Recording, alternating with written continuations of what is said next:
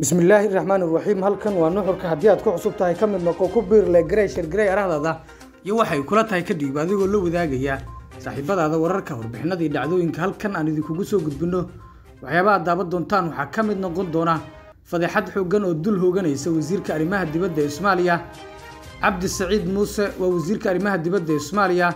Waxaan idiin soo gudbin doonaa xogo iyo dhacdooyin ku gadaaman. Fadeexooyinkaasi dul hooganaya wasiirka sidoo kale barakac xoogle ayaa la sheegayaa inuu ka socdo caasimadda galmudug iyo dhuusmareeb waxaan idiin soo gudbin doonaa barakacaasi iyo halkuu ku qotamo. Warbixin ayaan idinkaga haynaa barnaamij wareedkan ayaad ku daaban doontaan hadduu alweyne raalli uu ka noqdo. Doorashooyinka ayuu ka hadlay. Madaxweynaha jamhuuriyadda iskeed madax banaanida u qaadatay. Ee somalilan doorashooyinkaasi oo ah kuwa madaxweynaha soomaaliya.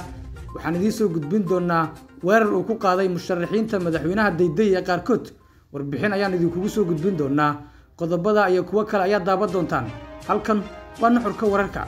Haddii aad ku cusub tahay ku biir oo ka mid noqo daawadayaasha iyo saaxiibada ku qoran adigoo la wadaagaya xogaha warbixinadii dhacdooyinka aynu halkan idinkugu soo gudbinno. Mar kale kulanti wacan ayaanu hawada idinka leenahay daawadayaasha sida tooska noogu xihan cabdi saciid muuse waa wasiirka arrimaha dibadda ee soomaaliya. Fadeexooyin ayaa dul hooganaya. Khalud yuusuf oo ah gabarh soomaaliyeed oo dhallinyaro ah ku dhalatay sacuudiga kuna soo barbaartay cariga ingiriiska ayaa wasiirka arrimaha dibadda iyo iskaashiga caalamiga ah cabdi saciid muuse cali ku eedeysay inuu isku dayey inuu markaasi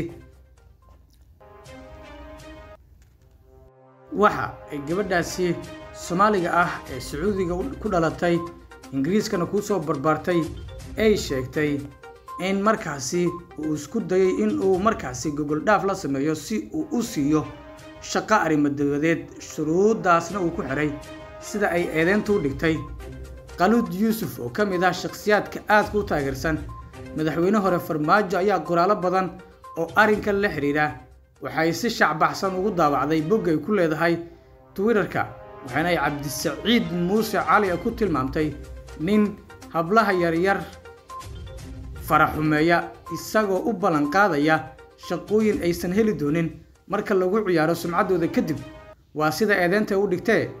Arrinkan oo si weyn loo hadalhayay saacadihii la soo dhaafay ayaa waxaa markaasi laga weydiiyey qaar ka mid ah howlwadeennada wasaaradda waxaana ay sheegeen in fadeexaddu si weyn u faaftay islamarkaana shaqaaluhu ka warqabaan in khaluud yuusuf ka soo tagtay shaqo ka haysay madaxtooyada si ay u hesho shaqada qunsul sacuudiga ah gabadhu maalmahan ayay ku soo laablaabanaysay xafiiska. Waxay saaxiibadeed u sheegtay in loo ballanqaaday shaqada ay raadinayso saasoo ay tahay waxaa ka soo waxaa markaasi soo baxay hadalkeedan oo fadeexad ku ah wasaaradda cabdisaciid wax kasta ayaa markaasi ka suurooba ayuu yidhi. Mid ka mid ahi xubnahaasi howlwadeennada wasaaradda oo cabdisalaan magaciisa noogu soo koobay.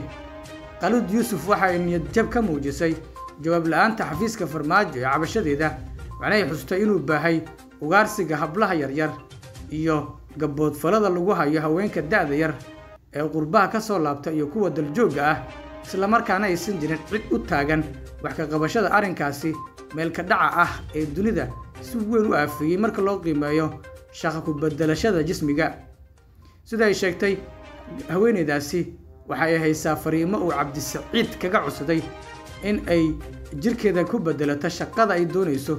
Waxa ay xustay oo ay sheegtay in markii ay eedda soo gudbisay uu ka balowgareeyey whatsappka iyo boggaasi bulshada ee twitterka si uu isaga indhatiro eedeymaha ama guud ahaan isaga fogeeyo fadeexaddan oo sida muuqata si weyn u baahday. Ma ahan markii ugu horraysay oo arrimo caynkan oo kale ah ka dhacaan xafiisyada sarsare ee dowladda waana cabasho muddo soo taagneed oo qaar ka mid ah shakhsiyaadka madaxda sheegtay ay shaqo bixintooda ku xidhaan xujooyin kala duwan. Cabdi siciid ayaana ka mid ahaa ragga hore lagu eedeeyey gaboodfalo jismiyadeed. Inkastoo aanu xaqiijin karaynin eedahaasi dhammaan sida ay markaasi ku sheegtay warbixinta ceelqabi cuqdadaysan. Cabdisiciid muuse wuxuu shan iyo toban sano ka hor markaasi la sheegayaa in uu tacabdiyo u geystay gabar aan qaangaarin sida markaasi la sheego. Islamarkaana hadda dacwo ka taala dalka kenya xilligaasi wuxuu la socday kooxdii cabdulaahi yuusuf iyo tigreyga etoobiya ee duulaanka ku soo qaaday muqdisho maadaama uu ka mid ahaa xubnihii cabdulaahi yuusuf puntland ka soo raacay. Kooxda wakhtigu ka dhammaaday ee farmaajo hogaaminayey ayaa la rumaysan yahay inay yihiin markaasi ama uu ka mid yahay xubnaha ku dhowdhow oo kala soo shogeeya farmaajo goobo dhowr ah sida inuu ahaa madaxtooyada markaasi xubin sare oo ka mid ah iyo inuu markaasi soo noqday la taliyihii amniga qaranka ee farmaajo kaasi oo lagu bedelay fahad yaasiin xaaji daahir kadibna loo magacaabay wasaaradda arrimaha dibadda ee soomaaliya wasiirkeeda. Si kasta oo ay xaaladda noqoto kol sii horeysay waxa uu wajahaya eedo la xidhiidha in uu markaasi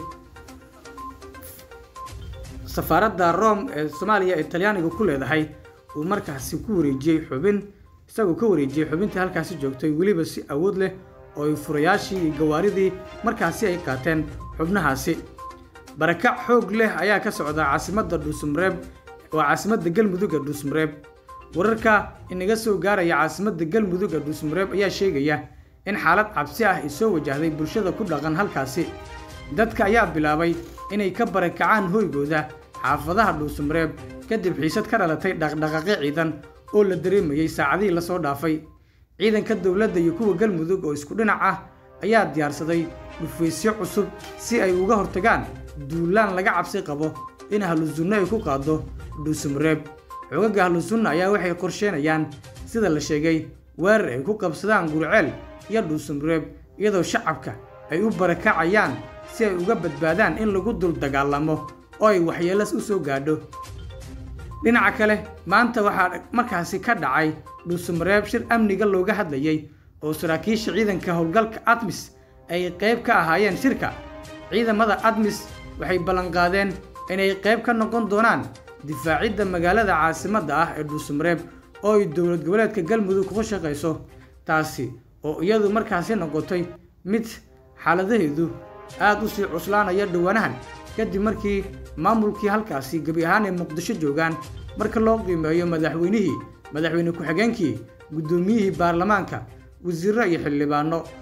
Waxaana ahlu sunno oo boolis ka soo abaabushay ee doonaysaa inay qabsato dhuusumreeb laakiin ahlu sunna waxay wajahayaan abaabul xooggan oo ay howlgalka atmis ay sameeyeen kuwaasoo ku dhaqaaqay ama uu ku dhawaaqay inaysan indhaha ka qabsan doonin.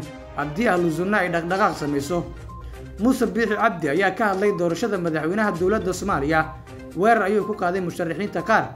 Madaxweynaha somalilan ee jamhuuriyadda iskeed madax banaanida ugu dhawaaqday muuse biixi cabdi ayaa ka hadlay doorashada madaxweynaha soomaaliya. Sidoo kale muuse biixi ayaa wax lagu xumaado ku tilmaamay in mas'uuliyiin ka soo jeeda somalilan ay xelal u doontaan muqdisho. Muuse biixi cabdi madaxweynaha somalilan ayaa dhaliilay maalinta lagu aadiyey doorashada madaxweynaha soomaaliya ee shan iyo tobanka mey taasi oo ku aastaysan maalinkii la aas-aasay ururkii xurnimadoonka soomaaliya ee s w l. Soomaaliya bishan shan iyo tobankeeda ayay u asteeyeen inay qabsadaan doorashada madaxweynaha inay isdoortaan oo nabad galaan ayaan alle uga baryeynaa laakiin waxaan hoosta ka xariiqayaa shan iyo tobanka markii ay doorteen waxay ku shaqeeyeen in dib dambe aanay isku soo sheegin ayuu yidhi muuse biixi wuxuu intaasi ku sii daray shan iyo tobanka mey waxay noo ahayd maalintii israa'el kadib waxay u bixiyeen maalinta dhallinyarada. Maantana waxay ku beegeen maalinta madaxweynaha. Wax iska galayna ma lahan oo taariikh iskuma lahan waana ka bareereen. Madaxweynaha somalilan oo hadalkan ka jeediyey xaflad ka dhacday jaamacad ku taalla hargeysa ayaa si gaar ah u diray musharaxiin ka soo jeeda somalilan oo u tartamaya xilka madaxweynaha soomaaliya kuwaasoo ku jirto fawsiye xaaji aadam oo ah gabadha keliya ee musharaxiinta ku jirta.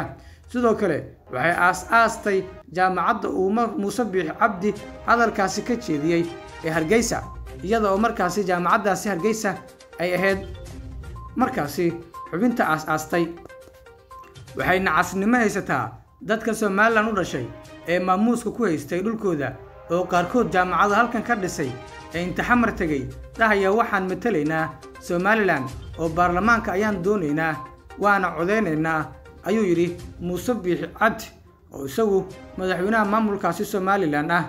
Waxa uu sheegay in muqdisho ay joogaan dad culimmo iyo caamo leh oo aqoon dimeed leh balse ay la mid noqdeen kan somalilan ka tegay ee loo dhaariyey inuu somalilan matalo ayuu yidhi muuse biixi cabdi. Halkan waa nuxurkeenna baadiino